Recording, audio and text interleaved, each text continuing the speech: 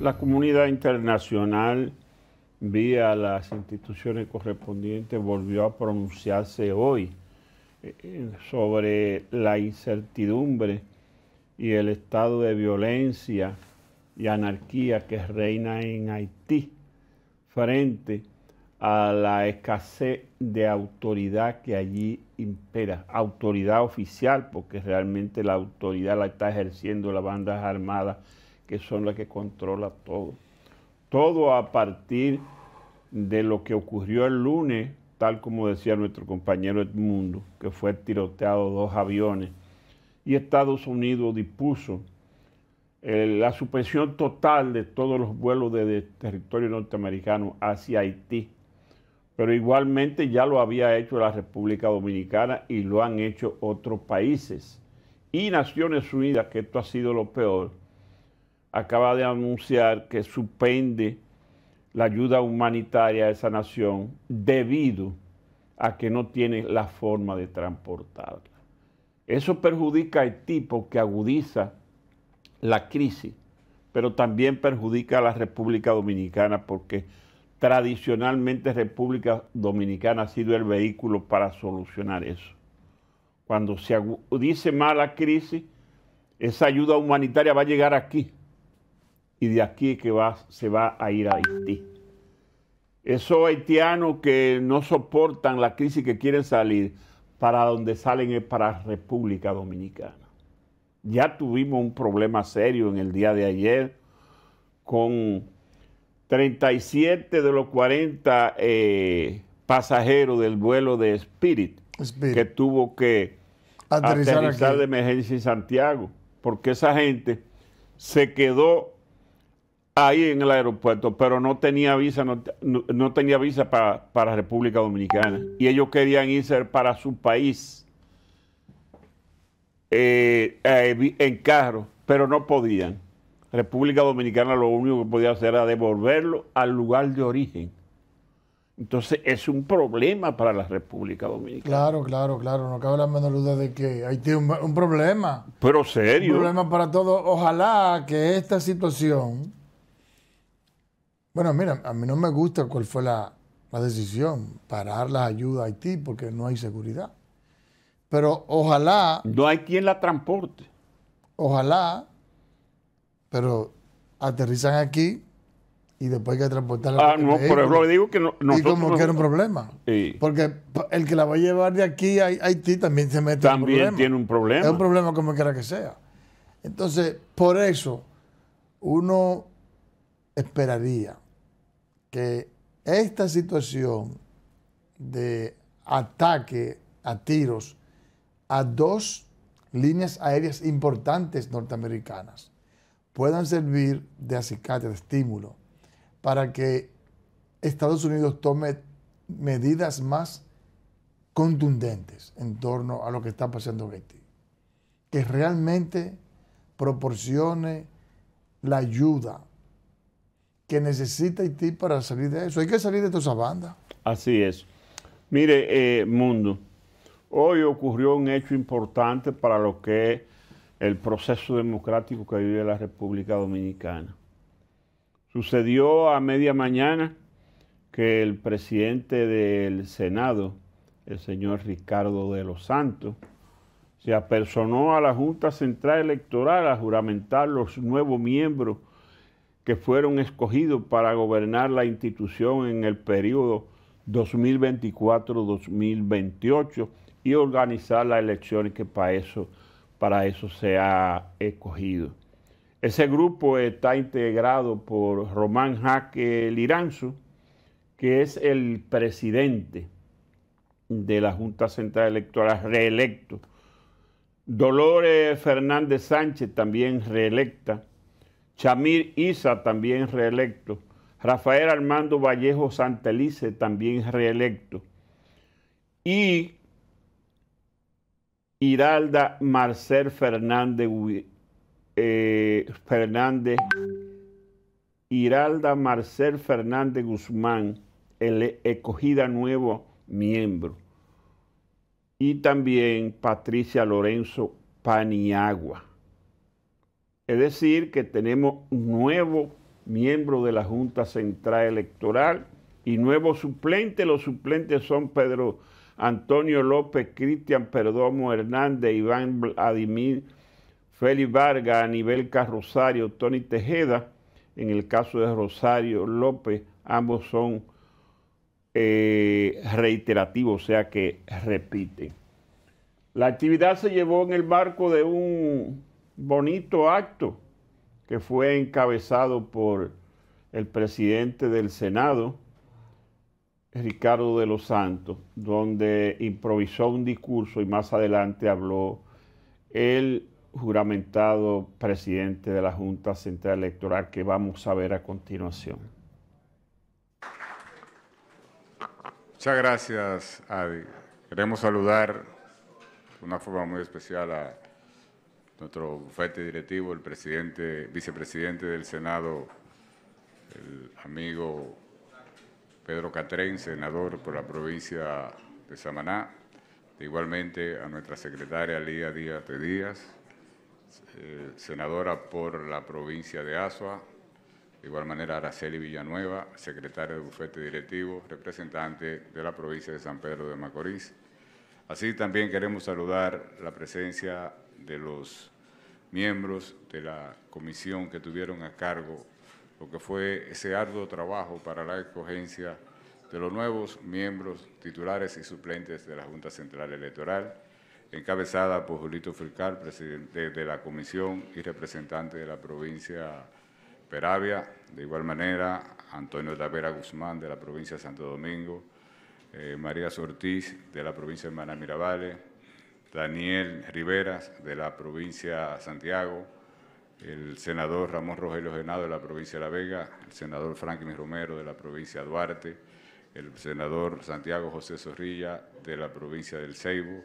Y también el senador Eduardo Espíritu Santo de la provincia de La Romana. De igual modo, agradecemos aquí la presencia de eh, nuestro vocero, el senador Venerado Castillo de la provincia de Tomayor, el senador Gustavo Lara de la provincia eh, Gustavo Lara de la, de la provincia de San Cristóbal, de igual manera a Odalís Rodríguez de la provincia de eh, Valverde, a Guillermo Lama, representante de la provincia de Bauruco, a Bernardo Alemán, representante de la provincia de Montecristi, a Rafael Duluth, representante de la provincia de Higüey, a Secundino Velázquez de la provincia de Pedernales, de igual modo Giné Burnigal de la provincia de Puerto Plata, Rafael Lora Nein de la provincia de Jabón, Antonio eh, Marte, familia, quien es representante de la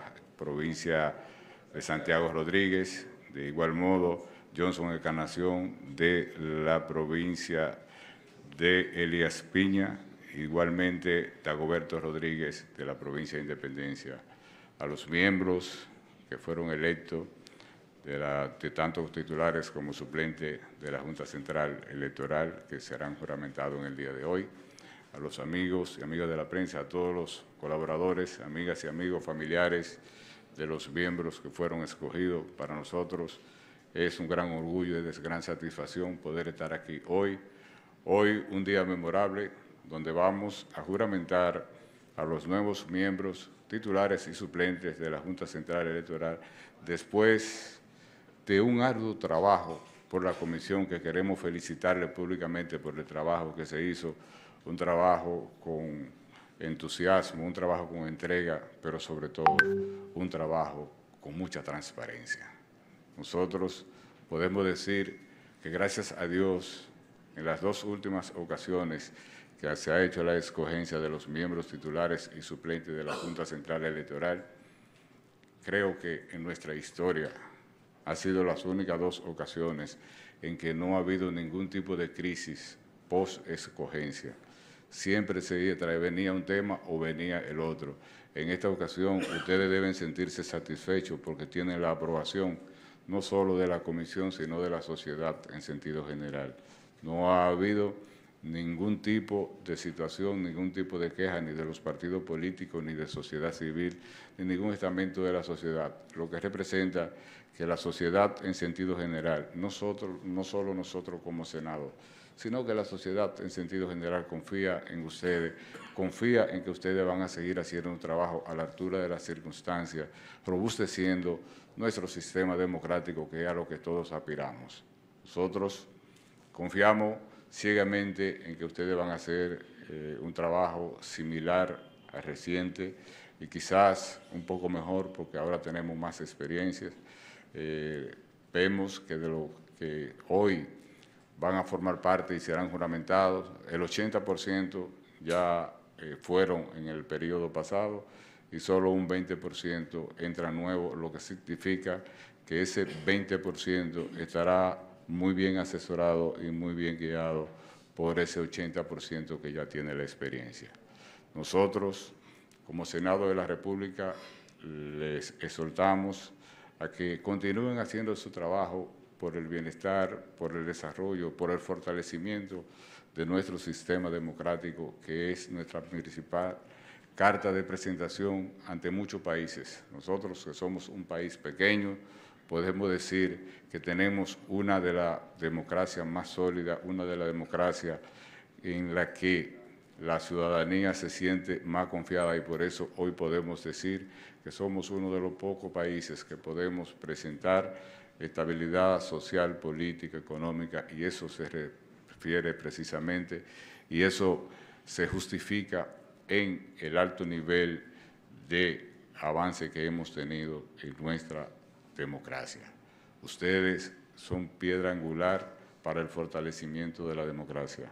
En la mano de ustedes queda depositado todo el esfuerzo, todos los esfuerzos que se han hecho históricamente para que la democracia en nuestro país siga su curso de fortalecimiento.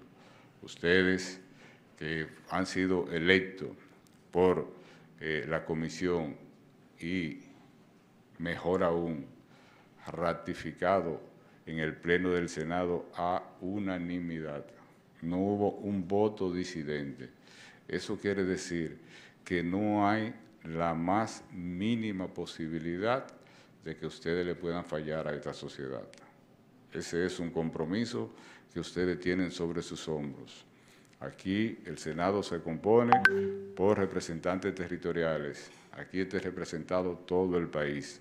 Cada senador representa una provincia y uno al Distrito Nacional, lo que significa que la sociedad en sentido general, el pueblo dominicano ha confiado en ustedes, lo que le compromete a hacer un trabajo, al igual que como ya lo demostraron, a la altura de las circunstancias y que nosotros esperamos en el Senado de la República no tener bajo ninguna circunstancia que de la misma forma que nosotros somos los responsables de la escogencia de los miembros titulares y suplentes de la Junta Central Electoral, también la Constitución nos da otra facultad y ojalá nunca nosotros tener que utilizar ningún método que pudiera traer algún tipo de diferencias entre nosotros.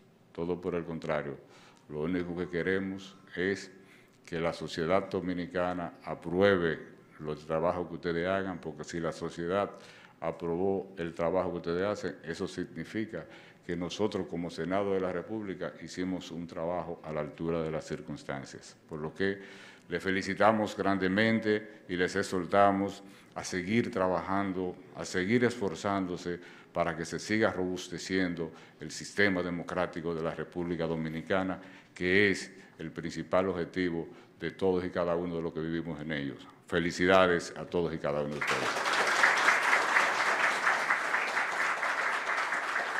Muchísimas gracias por sus palabras al presidente del Senado, señor Ricardo de los Santos. La democracia se sostiene sobre pilares de confianza. Y justamente en un momento en que la transparencia es cada vez más demandada, hoy los nuevos miembros de la Junta Central Electoral reciben ese voto. Hay que señalar que este día no solo se trata de ustedes, se trata también de cada dominicano de cada ciudadano que apuesta al futuro en su país, de cada dominicano que apuesta a que lo hagamos mejor. Lo que significa que hay muchos retos por delante. Sin embargo, ustedes han sido elegidos por su capacidad y experiencia. No hay ninguna duda de que lo lograremos juntos. Vamos ahora a pasar a la juramentación de los miembros de la Junta Central Electoral, para lo cual llamamos nuevamente al honorable presidente del Senado, Ricardo de los Santos.